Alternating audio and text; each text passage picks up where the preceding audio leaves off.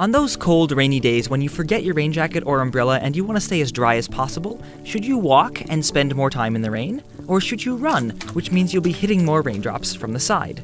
Assuming you haven't been fully soaked yet and you aren't jumping into puddles, the answer is simple. As you move out of the way of one falling raindrop, you move into the way of another, so the amount of rain hitting the top of you is constant regardless of how fast you're going. To see this, you can picture that the raindrops themselves are stationary and you and the earth beneath you are moving upwards through the rain. And since the volume of a parallelepiped, that's a 3D parallelogram, doesn't depend at all on its slant, then no matter how fast you're moving horizontally, the same amount of rain will land on top of you each second. Now, if you're not moving, the rain from the top is all you'll get. But if you are moving, you'll also run into raindrops from the side and you'll get wetter. So in any given second, you stay driest by standing still, and the faster you move, the wetter you become. But if you're trying to get from point A to point B, then standing still won't do you much good. And en route from point A to point B, the total amount of rain you run into from the side has nothing to do with how fast you're going. Just like how a snowplow will plow the same amount of snow from a stretch of road regardless of the exact speed it drives.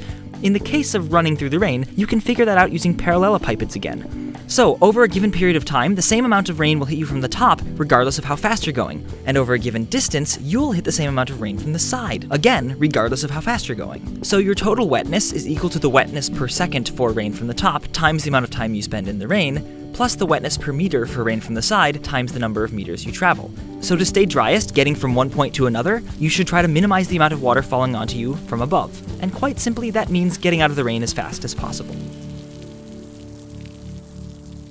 Thank you.